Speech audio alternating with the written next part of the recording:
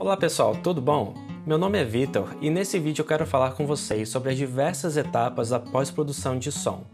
Vamos supor que você esteja fazendo um filme ou um vídeo com dois personagens. Cada um deles está usando um microfone de lapela que está conectado no transmissor que está mandando um sinal para o gravador.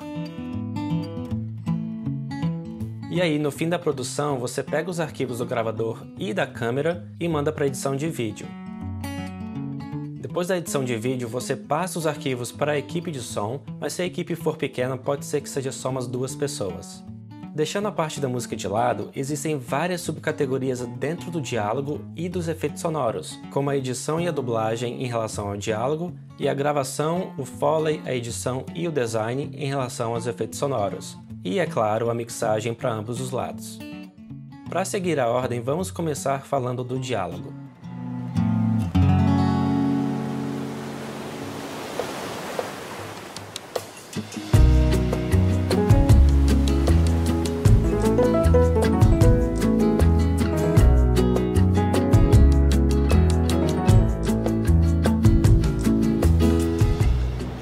Por mais estranho que isso possa parecer por conta do nome, a edição de diálogo não trata apenas do diálogo em si, mas também de alguns outros fatores que envolvem a captação de som na produção do set, como ruído e efeitos sonoros. Vamos supor que você está filmando seus personagens numa cozinha. Um deles abre a porta da geladeira, o outro pega uma xícara de café e bota o café dentro. Por mais que esses sons sejam efeitos sonoros, eles fazem parte do diálogo, porque eles foram gravados durante a produção no set. O que os editores de diálogo fazem é pegar todo o som que foi gravado na produção para montar de uma forma que o diálogo soe totalmente fluido, de forma que não haja nenhuma mudança muito abrupta de ruído de fundo. Além disso, o nosso trabalho também consiste bastante de consertar vários problemas muito comuns da filmagem. Por exemplo, pode ser que tenha um outro passarinho passando no fundo, às vezes o microfone pega alguma interferência. O próprio lapela é muito famoso por ter vários problemas nos quais o sinal cai e você perde um ou outro milissegundo de diálogo. Muitas vezes é muito fácil de corrigir isso, mas quando não é, o caso é de fato você pegar a cena inteira e levar para dublagem, mas essa é a pior das hipóteses, tá? A gente sempre trabalha tentando corrigir o máximo possível.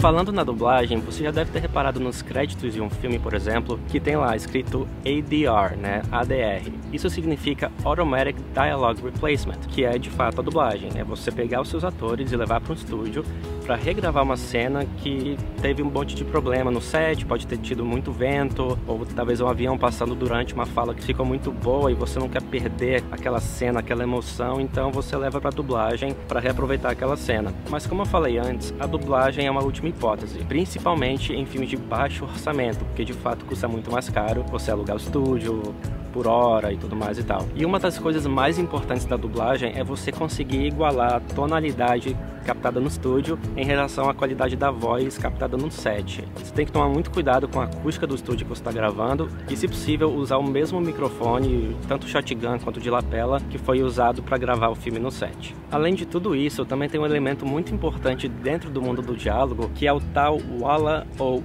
Loop Group, como é chamado lá nos Estados Unidos ou Canadá. Então, o que é isso? Imagina o seguinte, vamos supor que tem uma cena de um monte de gente protestando alguma coisa, você tem aquela galera lá, tipo, não, não, não, não, sei o que, não sei o que e tal. E aí você tem alguns atores conversando ou dando depoimento junto com essa galera. Mas o que acontece na filmagem, e isso é muito legal, tá? As pessoas que estão ali gritando, elas não estão de fato gritando, porque se você está filmando uma cena na qual os atores estão debatendo com a manifestação, né, com a galera que está protestando, você quer o diálogo deles, não de todo mundo ali, porque senão isso só vai atrapalhar a gravação, vai ficar esse tumulto todo sem nenhuma clareza da voz dos atores. Então eles gravam sem som. Eles gravam somente os atores debatendo, conversando e o pessoal, tipo.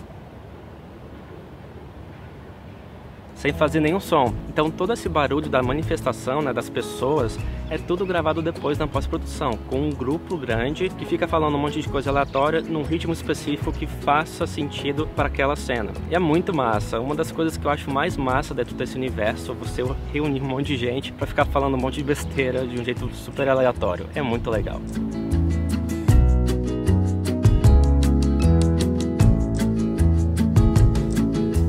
Campo dos efeitos sonoros já é bem mais diversificado do que o do diálogo. Por exemplo, você tem a gravação de campo, que é o famoso field recording né, em inglês, que consiste basicamente do meu setup aqui. Eu estou com o microfone shotgun aqui dentro, porque eu quero o som bem direcional mesmo, né? Eu não quero as ambiências. Então, por exemplo, se eu focar na minha voz, você vai ver que ele está bem direcional. Mas se eu virar um pouquinho pro lado, já começa a perder a intensidade do, do sinal, não é mesmo? Mas enfim, ele está conectado aqui dentro, com uma proteção contra o vento. Aí vem o cabo, conectado no meu Zoom H6, um gravador muito bom, muito versátil, e eu estou monitorando isso no meu fone de ouvido bem aqui. E o que eu quero tentar fazer agora é o seguinte, ali atrás está tendo uma construção, eu quero tentar gravar o trator, mas porque é uma construção e tem pessoas envolvidas nesse trabalho, eu acho que seja melhor eu pedir talvez a permissão deles para fazer isso, porque eu estou com uma câmera também.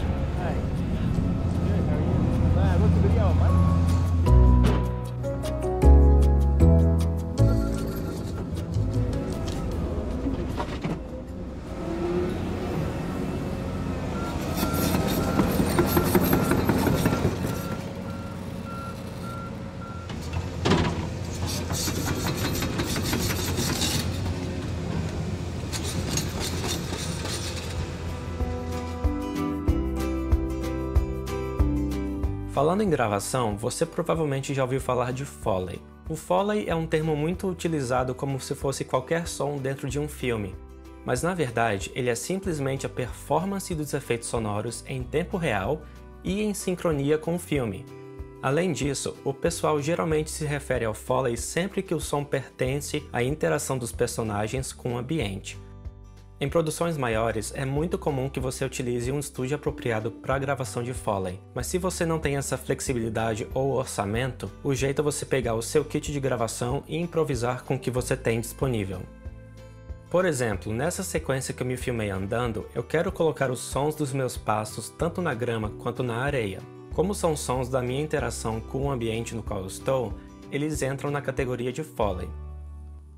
Entrando aqui na minha ilha de edição, eu vou estar tá usando o Reaper para fazer isso só porque eu estou mais acostumado com ele.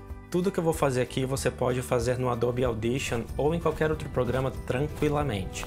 O problema que eu tenho aqui é que eu gravei os sons dos passos separadamente, o que significa que eu vou ter que marcar todos os passos e sincronizar eles manualmente. O ideal é que você tente gravar o mais sincronizado possível, monitorando o vídeo em tempo real. Dá uma ouvida em como ficou a edição.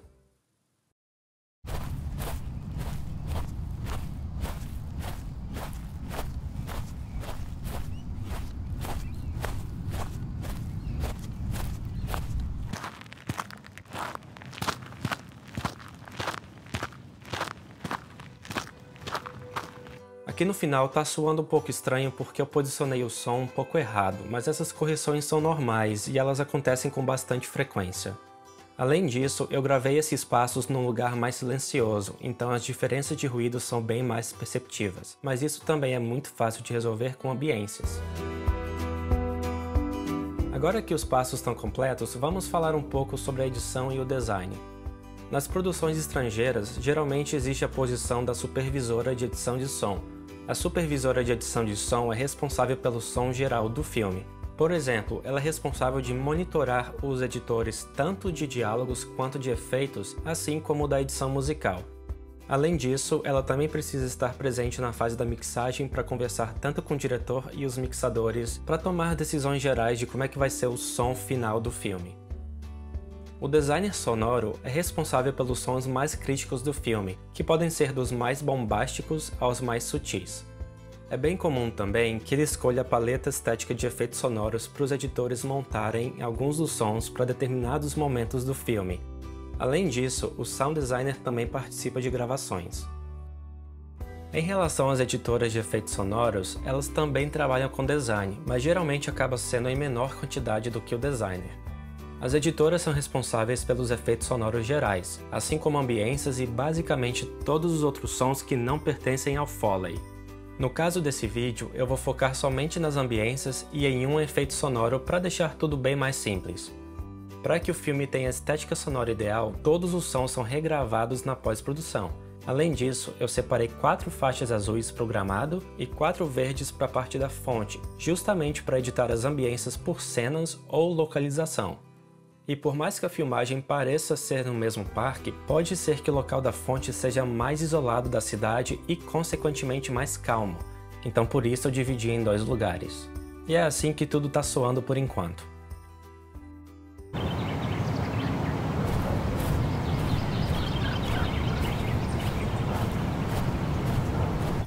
Nada mal para um começo. Elas estão soando um pouco mais altas por enquanto, mas isso já é uma questão da mixagem. Agora vamos editar a segunda parte. Para ela, eu peguei outros dois sons diferentes, mas eu também vou aproveitar outros dois da primeira parte para que a mudança de ambiência seja mais sutil. E tocando tudo junto, é assim que está o resultado até então.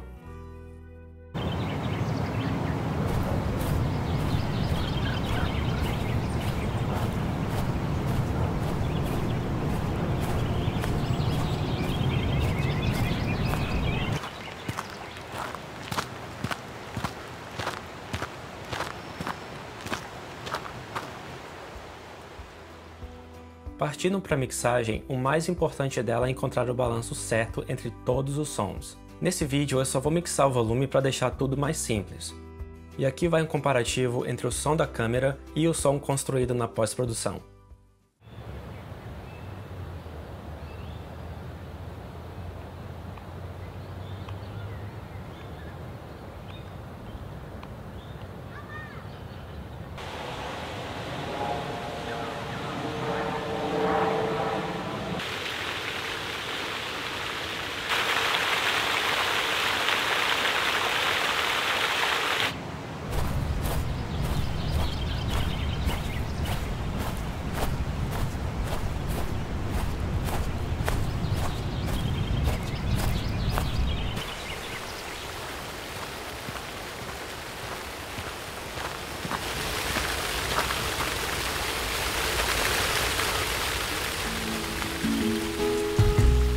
Mas então é isso, pessoal. Esse vídeo foi para dar uma introdução geral sobre as diversas etapas da pós-produção de som. Se eu entrasse em mais detalhes sobre cada uma delas, esse vídeo teria mais ou menos meia hora de duração. Mas eu já estou planejando alguns vídeos que cubram essas partes em mais detalhes, especificamente diálogo e redução de ruído. Edição de ruído não no sentido de você aplicar para o som inteiro, mas de você realmente acessar as propriedades do som, tipo frequência e amplitude, é como se fosse um Photoshop para o áudio, para você corrigir problemas no seu áudio. Daqui até lá, eu espero que você tenha um ótimo dia e a gente se vê no próximo vídeo.